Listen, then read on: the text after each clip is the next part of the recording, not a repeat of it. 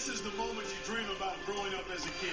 I mean, this is something that each and every one of these players will remember forever. From the owner of the team all the way down to the ball boys, you have to hand it to the entire organization, Steve. They've worked together to get right here. And what better way, Kevin, to give back to the loyal fans of this franchise than to finish out this series, this whole playoff run, actually, in front of the home crowd. What a night.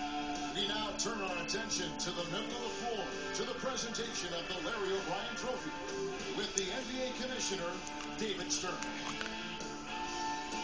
Thank you to two great basketball teams who demonstrated extraordinary passion, intensity, teamwork, and dedication in the finals and in the season. Who would have speculated when this season started that the team on this stage would be the last one standing? Coaches, and the fans of the 2012 NBA champions, the Charlotte Bobcats.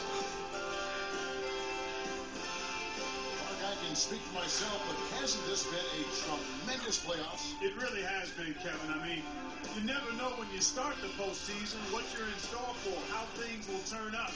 But we now all know what the end result was. Steve, I know you've enjoyed every second of this series. That's been phenomenal to watch, Kevin. And, and what impresses me the most is, you know, the NBA playoffs is such a grind. Uh, to win it all, to go through so much adversity, the roller coaster ride of emotions.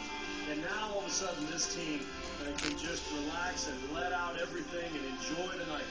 And we have enjoyed our time with you folks all season long. For Doris Burke, Clark Kellogg, Steve Kerr, and the entire 2K Sports crew, this is Kevin Harlan saying so long. Have a wonderful summer.